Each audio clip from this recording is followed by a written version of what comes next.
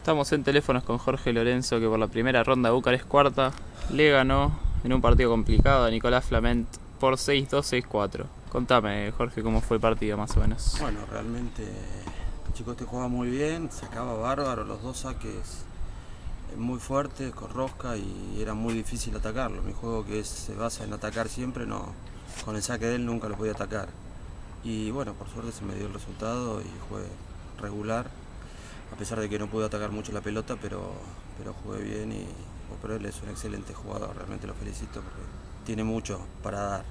Tiene un revés excelente a dos manos que se lo esconde el drive bárbaro, yo lo trataba de buscar el drive cuando me di cuenta que el revés era terrible y se invertía al revés que yo, yo me invierto de drive, él se invertía al revés, pero bueno, fue lindo partido.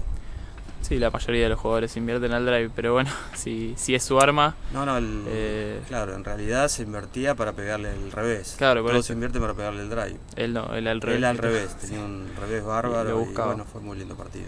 Está muy bien. Bueno, me dijiste que no pudiste hacer tu juego, entonces, ¿cuál fue más o menos tu no, táctica? Traté, No, mi juego es atacar todo el tiempo y como también no, no le podían, cuando le encontraba el drive, sí lo, lo atacaba un poco, pero el revés era muy profundo de él y muy bueno y bueno, traté de meter un poco la pelota y cuando podía eh, cambiar el ritmo con el ice y bueno, variar un poco el juego. Está muy bien. Bueno, Jorge, felicitaciones por la victoria. Ya avanzás en esto que era la primera ronda de Bucarest. Eh, dedicatoria, saludos que quieras mandar. No, no, como siempre, a la familia y bueno, y a la familia también de Circuito Tenis que, que laburan bárbaro.